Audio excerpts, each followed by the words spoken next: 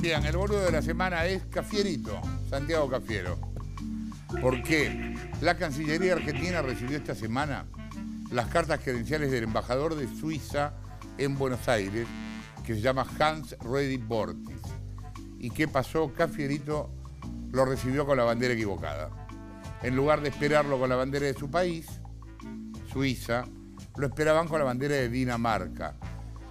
Cafierito, mira, the flag of Suiza es esta, mira, ¿ves? Y lo recibieron con esta otra flag, mira, la de Dinamarca, ¿ves? Ahí está. Es distinta. O sea, la confusión fue con un país escandinavo. Digamos, el que se confundió es un nabo. El chiste es tonto, pero vale la pena igual. El canciller pidió disculpas, pero como las pidió en inglés, no le entendieron un shit. Eh, Cafierito, se puede ser